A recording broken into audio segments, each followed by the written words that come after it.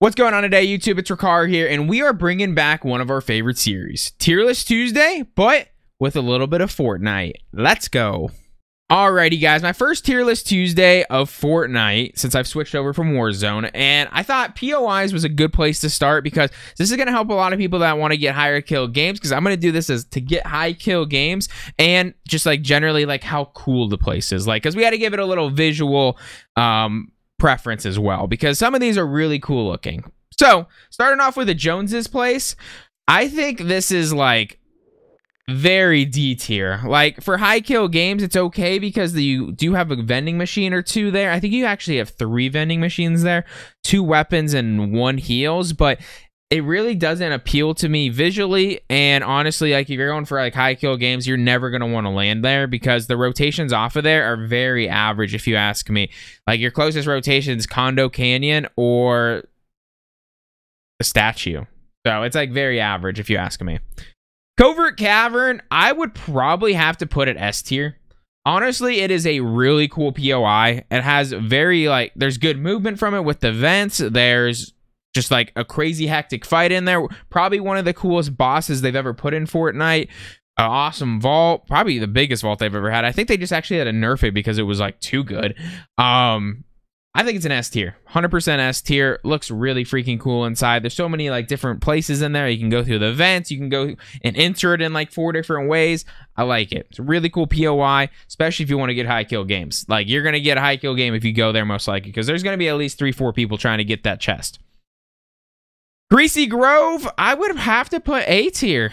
Honestly, like I love landing there. If you've been to my stream, that's like my go-to. Only reason it's not going to be S tier for me right now is just because it's like weirdly like under like there's not a ton of loot sometimes. Like it's odd. It's like you can get unlimited heals because of how many cooler spawns there are there, but they did just give to like a 75% chance instead of 100%. So maybe it won't be as good for heals.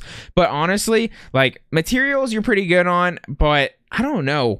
Weapon and loot wise, it just feels a little dry for some reason. Like when I'm playing it in competitive, like it feels very iffy at times. But for the most part, you can get chili chugs. You can do like it's a solid, solid landing spot, 100%. It's not the best, but not the worst, if you ask me. But it does have that OG. Like Taco is so OG. I love it. Sleepy Sound, I would have to put it's pretty cool because like there's water between both cities, like visually appealing. It's one of the cooler looking ones to be honest. But I think we're going to have to go and put it at B tier. I think it's just kind of average. High kill wise, it's like at towards like the middle bottom area, but it has pretty solid loot for the most part. It has a general like good feel to it. Like I said, appealing for the eyes. It's decent. Um, and low key's kind of busy. People like to land there a lot. I don't know why. So I'm gonna leave it right there in the middle. It's very average if you ask me. Camp Cuddle. My goodness. Um. First off, I can't believe they named it Camp Cuddle. But I'm gonna have to probably put it. Uh, but then it's gonna be one of everything. Am I just doing this and making this easy, putting one of each? No, I'm going to put it at C. Visually appealing, obviously very appealing. It's probably one of the coolest ones on the map. Uh, we're going to go B tier with it, actually. I changed my mind. Stupid shark in the middle is annoying as hell, but there's a lot of fishing spots there. You got a cool bridge on it now. It connects over to Tilted Towers. It's a pretty cool area. The camp itself feels very underwhelming. It kind of, I guess, for a summer camp, it's like a small summer camp, but like, it's it doesn't like jump out to me and be like this is a POI. Like it feels like you're just running through some buildings sometimes. So that's why I'm gonna have to put it at average, but it is very visually appealing with that big old lake.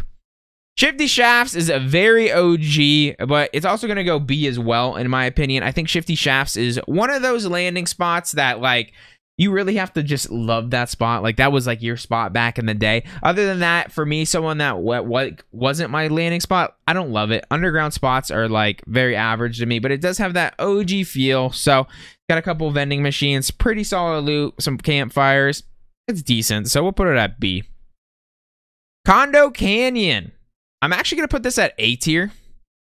I like to cause, call it the cozy cone if you ever watch Cars, but I think it's like decent. Like it's got good loot. You can get heals pretty good. There's like three vending machines, and it also has like the other part of it over here. It's like it's a really big POI. It might actually be like the biggest or like the longest POI that are tilted towers, but there's a lot going on there. I don't know.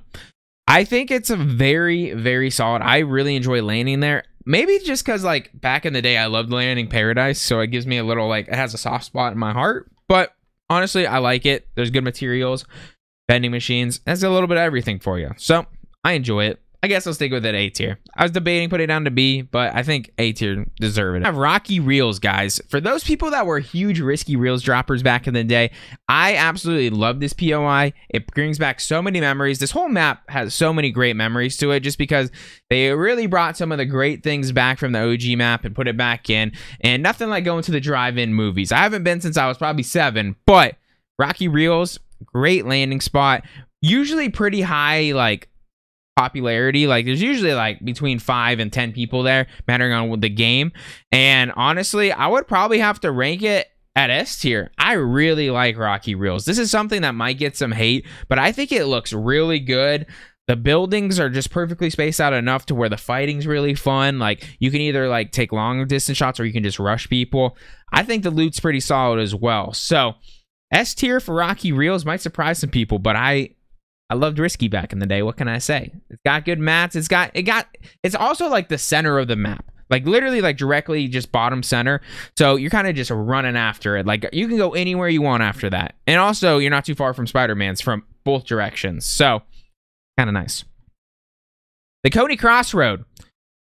I would probably have to put Coney it's so average. I think I'm actually gonna put a C tier. I it's in the middle of the map, so like if you can get out of there and rotate good, but they're not near any Spider-Mans. Like there's no Spider-Mans near there. So it's kind of hard to rotate like for high kill games.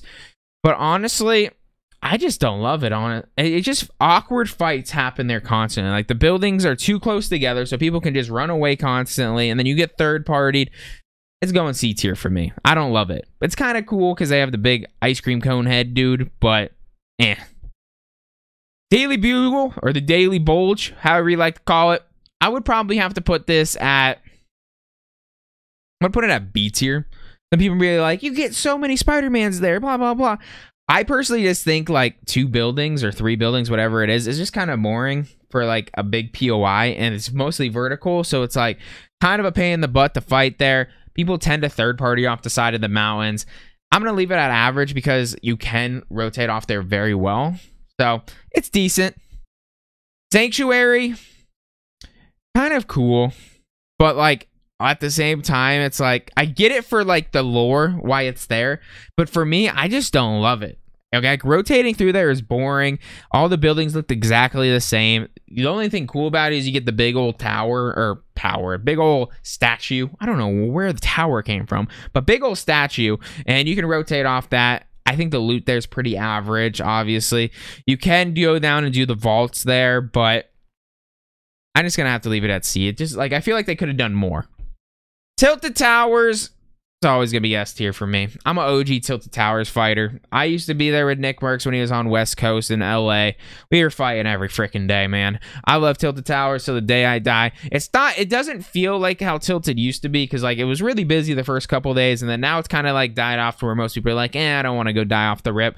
So I don't think it'll ever be like OG OG Tilted Towers, but you're gonna run into some demons there if you go there. So better watch out. Logjam Lumber Yard. This is a very interesting one as well. It is probably one of the coolest looking spots on the map. You get good mats. Rotation from there is pretty decent because you can go to Covert Canyon and use the vents. There's a lot of launch pads on the ground at the IO spots. Hmm. I think we're going to have to go A tier on it.